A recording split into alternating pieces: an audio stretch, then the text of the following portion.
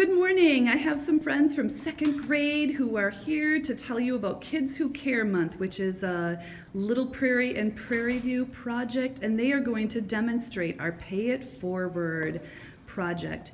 Every student at Little Prairie and Prairie View is going to be getting a Pay It Forward card like this, and these second graders are going to demonstrate how this is done.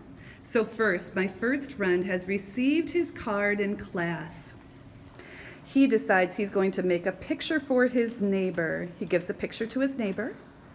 He puts his initials on the back of the card and says, well, she then accepts the picture. She decides she's going to make breakfast in bed for her dad. And she gets the help of her older brother or sister or mom and makes breakfast in bed for dad. She initials the back of the card gives it to dad and says, Thank and you. he accepts that. Well, this dad, he happens to know that the neighbor really, really likes stuffed bunnies. So he gets a bunny for the neighbor, gives the bunny to the neighbor, signs the back of the card, and says, Pay it forward. Thank you.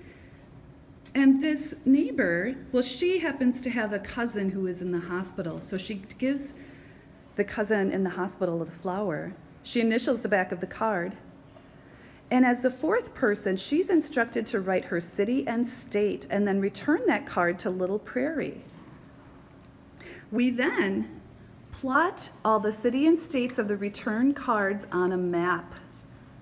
And, and can you tell me, where has our furthest card gone? To Japan. Our little Prairie and Prairie View friends are changing the world. And we've been learning about generosity.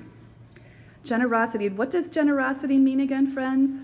We give more than we take. We give more than we take, absolutely. So um, thanks so much for participating with us and have a nice day.